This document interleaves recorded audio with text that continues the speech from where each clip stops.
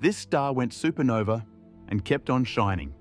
A cosmic rule breaker the universe never expected. In 2012, astronomers watched a brilliant explosion tear through the galaxy NGC 1309, a type IAX supernova SN 2012Z, powerful enough to erase its parent star from existence.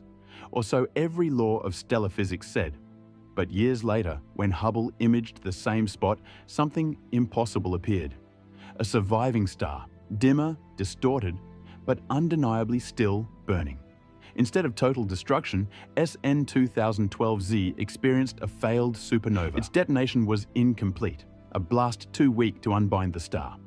The explosion ejected material, but its core remained intact, puffed up, hotter and heavier than before.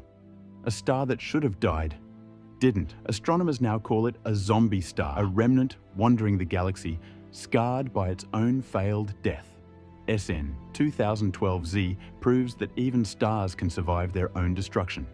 In the universe, not every ending is the end. Subscribe for more cosmic facts.